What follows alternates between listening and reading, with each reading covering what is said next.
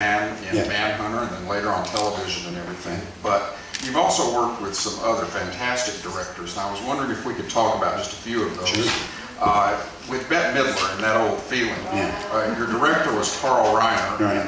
I've met him a couple of times, and his humor is never far beneath the surface. Right. But what was he like on the set? Oh, he was great. I, I couldn't wait to get through with the scene so I can go and uh, uh, sit down and uh, he would tell wonderful stories about what he and Mel Brooks or he and uh, uh, Dick Van Dyke and everybody were doing. He was just wonderful to be around. But you know, down in the business when he had to be, uh, just told great stories. I, I, I love to listen to him.